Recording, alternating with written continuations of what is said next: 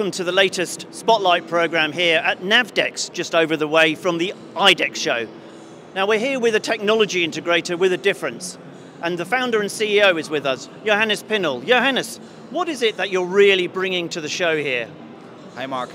I think we need to roll back. So first of all, we're a tech company, and we're focused on a, a problem which we see now in a geopolitical new situation, which now is in the media every day, Ukraine. But the first time we've seen it in the Middle East, it's the autonomous threat. So the new autonomous threat, which mainly are drones for now, and we are here, we can say actually the world leader in protecting assets against such autonomous vehicles. And these are mainly the category 2 drones, which you see now, now famously Shahed 136. So Johannes, just tell us a little bit, using the model here, the video, how it actually does work. Yeah.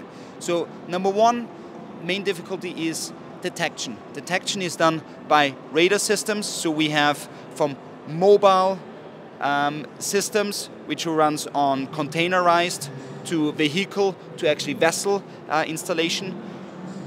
You detect the drone at, let's say, um, a Shahed 136 at 20, 30, 50 kilometers away.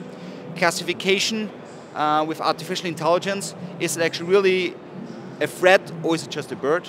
The bird you, um, you don't need to bother and then actually really focusing on these um, threat and what you see here actually then the countermeasures are putting in place where you um, first jamming capabilities and then last layer of defense as countermeasure missile system and airburst cannons to actually neutralize such a threat. Johannes, it's, it's clearly very smart, but you've does it actually work in practice? Because I do believe you've actually got some units deployed. Just tell us what you can.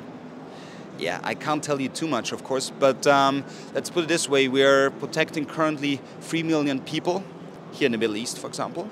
In this area, have neutralized multiple of these actual threats coming along, and um, as I mentioned before, how we, through these different steps, have neutralized such threats. Johannes, clearly you've got some great technology here. It's obviously doing a great job protecting people, detecting these threats. Good luck at the show. I'm sure you'll get a lot of interest. Thank you for talking to Spotlight.